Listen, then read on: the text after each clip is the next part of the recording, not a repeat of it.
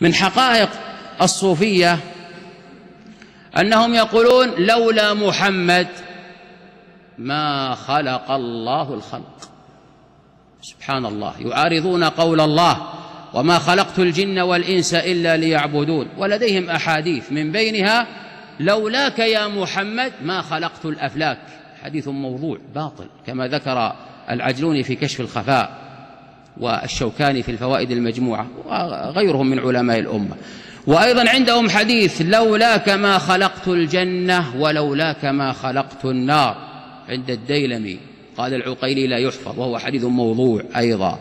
أيضا حديث هناك حديث عندهم وهو لولاك يا محمد ما خلقت الدنيا. عند ابن عساكر وأيضا هو موضوع لا يصح.